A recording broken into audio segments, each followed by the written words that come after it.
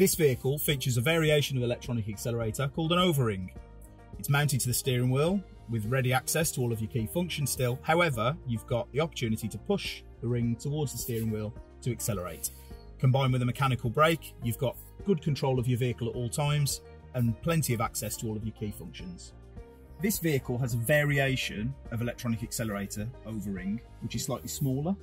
So it sits inboard of the wheel rim on this vehicle. That might be something to consider if you're thinking about driving one of these vehicles, as it might give you easier access to the wheel or you might be more comfortable.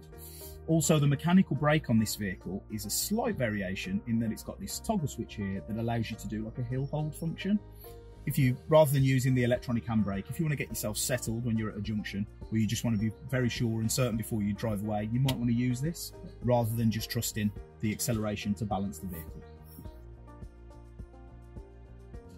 This type of ring accelerator is an underring, or in this particular example, a ghost ring.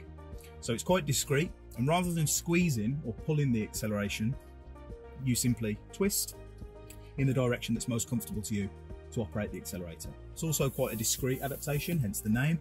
So if the person who's using the vehicle other than yourself doesn't require the adaptation, you don't need to remove it, doesn't really get in the way. This is combined with a mechanical brake, as is normal with this kind of adaptation. Really nice and easy and simple to use, and all of your controls fall easily to hand.